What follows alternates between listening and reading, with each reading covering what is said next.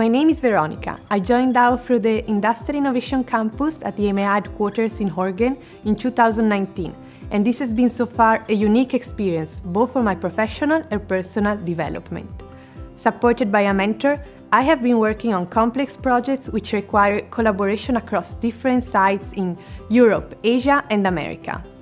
Moreover, I have had the chance to develop my soft skills through trainings that help us succeed in a research and development or technical service and development role. Being part of Dow exposes you to a culture and a mindset which are unique for such a big company. Personally, I liked from the first moment the spirit of openness and inclusion that makes Dow different. So, if you want to benefit from an internship in such a huge and diverse company, the Dow Industrial Innovation Campus is the best way to do so.